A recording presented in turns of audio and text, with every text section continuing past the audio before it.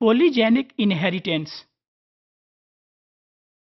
A condition when two or more genes they jointly contribute for the expression of a trait. Such a phenomena is called as polygenic inheritance. Poly means multi and genic means gene. If there are multiple genes which are present on the same chromosome or on different chromosome, they contribute for a phenotype or for a trait. Such a phenomena is called as polygenic inheritance or polygenic trait. Polygenic inheritance is controlled by multiple genes. Here we can see that there are different chromosomes.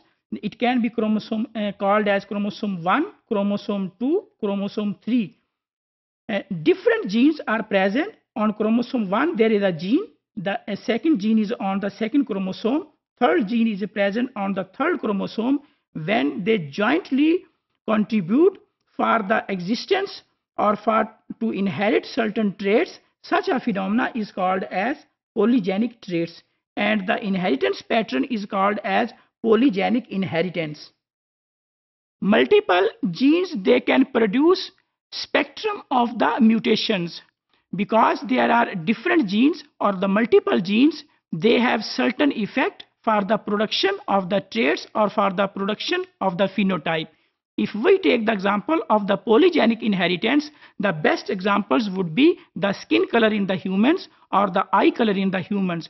Because more than one gene they contribute for the skin color in the humans. And same is with other polygenic traits.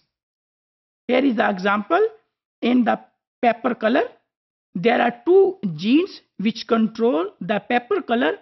Gene 1 that can exist in dominant form if there is a dominant allele, then the color of the pepper will be red. So in this pepper, there is R red gene. While if there is a recessive allele of the same gene, then the color of the pepper would be yellow.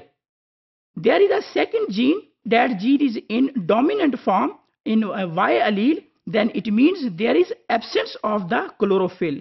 While the second allele of that gene that is in a recessive form if allele is in a recessive form then there will appear the chlorophyll in the pepper color.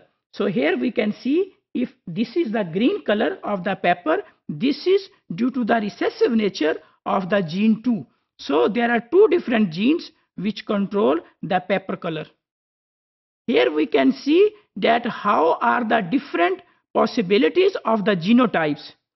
If there is allele R and allele Y, so the color of the pepper would be red. In this case, there is allele R that belongs to gene number 1 and there is allele Y that belongs to gene number 2. So there are two genes jointly they have the color uh, expression in the pepper and that is red in color. While in case of brown or orange, these two genes, uh, if there is allele R that is in a dominant form and allele Y of the second gene that is in a recessive form, then the color of the pepper will be brown and orange. While in the third case, if the gene 1 is in recessive form while the gene 2 is in dominant form, then the color of the pepper would be yellow. In the fourth case, if the gene number 1 is in recessive form, that is in recessive form, and gene 2 is also in recessive form, then the color of the pepper would be green.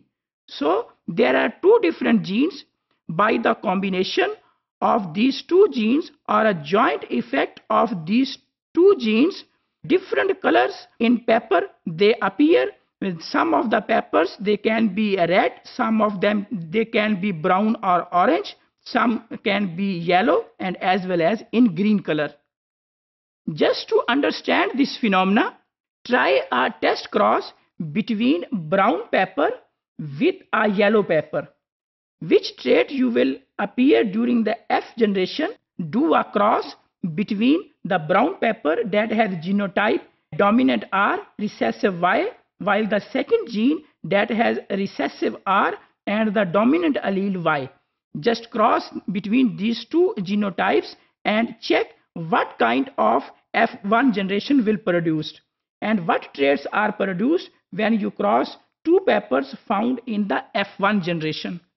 If we see here that the brown pepper that has genotype dominant R that, is, that belongs to gene number 1 and recessive allele that belongs to gene number 2. While in case of a yellow pepper that has recessive form of gene 1 that is R and dominant form of the gene 2 that is Y allele. So Y allele is dominant over the small uh, y. Uh, capital Y is dominant allele while the small y is recessive allele. If we do a, a cross between these two types of the peppers, all the offsprings that will be produced during the F1 generation, the color of the peppers will be red. While as a result of cross between the progeny of the F1 generation, there will be four different types of the pepper uh, there will be a red color pepper, a yellow color, brown color and green color.